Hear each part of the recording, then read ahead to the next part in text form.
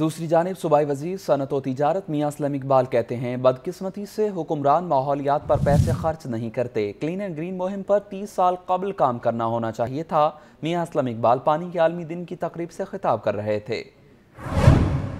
Environment کے حوالے سے کبھی نہیں سوچا گیا کہ اس ملک کے اندر ٹری کٹنگ تو کی جاتی رہی ہے، لیکن درخت لگانے ہیں، کیسے لگانے ہیں، کون لگائے گا، کیا کرے گا؟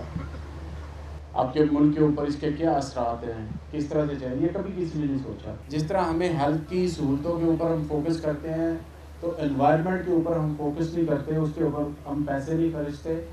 تھوڑے پیسوں کے اندر بہتر ماحول پیدا کیا جا سکتا ہے، لیکن ہم نہیں کرتے رہے اس کی وجہ یہ رہی ہے کہ ہماری پریورٹی کچھ ہو رہی ہے۔ ہماری پریورٹی نیچر کو انوائرمنٹ کو محفوظ، صاف ستھرا بنانا نہیں رہی۔ پرائم منسٹر پاکستان نے اس ڈرائیو کو چلایا اور آج ہم کلین اینڈ گرین پنجاب اور پاکستان کے حوالے سے ہم سب منسٹرز کی، ایم پی ایز کی، تمام ایڈمنسٹریشن کی ڈیوٹیاں لگی ہیں۔